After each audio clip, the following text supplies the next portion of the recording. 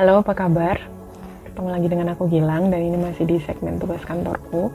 Buat yang baru datang atau baru visit ke channel ini, mungkin kayak nggak tahu ini sebenarnya channel apa sih ngebahas parfum tapi kok tugas kantorku ngebahas tugas kantor tapi kok yang dia ngomongin parfum gitu ya. Dan ada juga topik-topik yang tidak penting lainnya. Sebenarnya ini adalah video yang aku buat untuk uh, channel yang aku buat untuk uh, mengerjakan tugas kantor. Tugas kantorku tuh berupa bikin weekly video yang durasinya tuh minimal 3 menit. Tujuannya biar kita latihan ngomong di depan kamera. Nggak apa-apa itu unik juga. Buat selingan juga kalau lagi bosan ngerjain di depan laptop. Ah, hari ini aku akan ngebahas salah satu koleksi parfum di lemariku yang paling murah. Semurah itu kalau kata anak sekarang sih ini namanya adalah uh, Al Rehab kalian mungkin banyak nemuin ini di toko-toko parfum Arab toko-toko keperluan haji gitu ya uh, Al Rehab ini itu uh, brand dari Timur Tengah. Eh, betul maaf ya kalau aku garuk-garuk terus karena ini kayaknya aku ini aku sedang mencoba SPF baru jadi kayak agak gatal-gatal. Nah, um, ini itu harganya cuman setahu ya, aku beli tahun lalu tuh di bawah 20 ribu. Sebesar apa dia? Dia kalau jadi bungkusnya kan kayak gini ya. Lalu uh, ini isinya tuh bentuknya kayak roll on gini. Kalau kalian uh, menjamani Avon, yang punya dia punya kayak petit perfume kayak gini atau minyak angin lah ya. Minyak angin kan juga konsepnya kayak begini ada ada roll on gini. Nah ini aku beli tiga varian waktu itu. Nggak semuanya best sellernya best sellernya salah satunya cuma si Sabaya.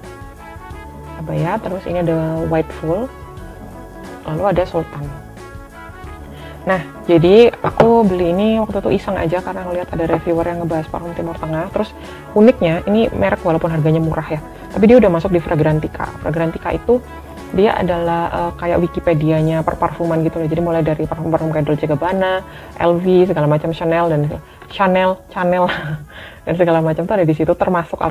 Dan Indonesia sendiri kemarin baru-baru ini kemasukan namanya Humans parfumnya anak sekarang. Nah, nah tapi kita ngebahas sih Al Rehab aja ya. Al Rehab ini walaupun murah, dia tuh wanginya menurutku cukup oke okay, dan bahkan uh, testimoni itu ada yang bilang kalau wanginya beberapa ngediup parfum luar negeri yang udah uh, parfum branded gitu loh. Nah dia ini walaupun 15.000 tapi uh, base-nya oil jadi dia wanginya nggak bakal cepet hilang. Tapi juga nggak nggak setahan lama itu. Ini yang Sabaya ini wanginya lebih ke fruity, floral. Ini wangi yang aman dan bakal disukai banyak orang. Makanya dia best seller karena wanginya tuh balance gitu loh. Bunganya tuh nggak terlalu yang ledek banget tapi fruitynya juga nggak terlalu manis banget. Cuman mungkin karena toleransi manis buat orang tuh beda-beda jadi mungkin ini termasuk parfum yang manis. Tapi aku nyaranin ini kalau kalian bingung mau beli yang mana dulu kalian coba beli yang ini. Karena dia wanginya dia untuk feminine dan uh, tergolong aman. Terus yang kedua ini adalah white full. White full ini wanginya lebih ke arah white floral. Ada yang bilang ini wanginya katanya jasmine banget tapi menurutku nggak terlalu jasmine sih. Buat kalian yang suka jasmine yang benar-benar melati dari dari teh melati gitu ya. Ini wanginya nggak terlalu ke arah sana. Wanginya tuh lebih kayak sabun cashmere bouquet tulisannya cashmere bouquet yang sekarang tuh ada di supermarket ada di minimarket. Nah kalau kalian suka wangi vintage mungkin kalian akan in love sama ini. Tapi kalau kalian nggak begitu suka wangi vintage mungkin uh, skip aja. Ini tuh kayaknya wanginya lebih ke arah 30 tahun atau 40 tahun.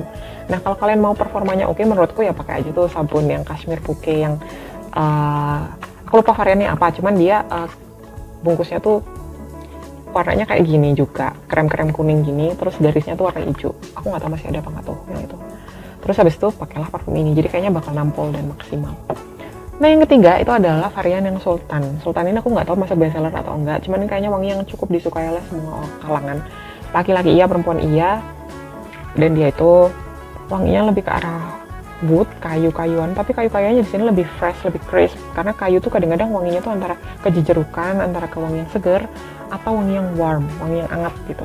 Kayak uh, reviewku yang Alchemist yang Outwest kemarin tuh kan dia wanginya lebih hangat ya. Kali ini wanginya dia tuh lebih fresh. Jadi kalau cowok-cowok pakainya sih banyak yang suka sih kalau wangi-wangi kayak gini.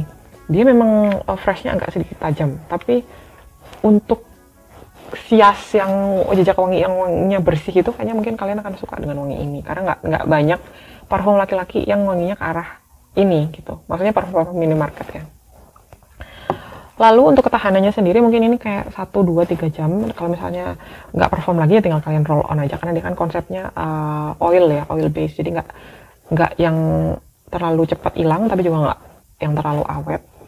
Kemudian harganya ini under 20.000. Nanti untuk link pembeliannya aku akan taruh di bawah. Kalian bisa cek di situ. Ini tuh range variannya tuh benar-benar banyak yang kayak ada 20 jenis dan mereka nggak nggak kita harus cari sendiri di Fragrantica ini notesnya apa aja kalau mau tahu. Atau kalau mau cepat ya udah langsung tanya aja sama sellernya. Biasanya sellernya akan jelasin ini wanginya ke arah sini ke arah sini gitu. Yang paling enak katanya wanginya adalah Chocomas. Itu yang kayak orang-orang apa cinta parfum tuh pada mengincar itu sampai follower-followernya pun mencari itu. Sampai aku tuh mau nyoba cari dia tuh sering kehabisan. Tapi nggak apa-apa dicoba cari dulu aja kalau misalnya kalian tertarik. Nah itu dulu review dari aku. Mudah-mudahan bisa membantu kalian mencari parfum yang budget friendly. Mudah-mudahan kalian suka dan see you on the next video. Sampai jumpa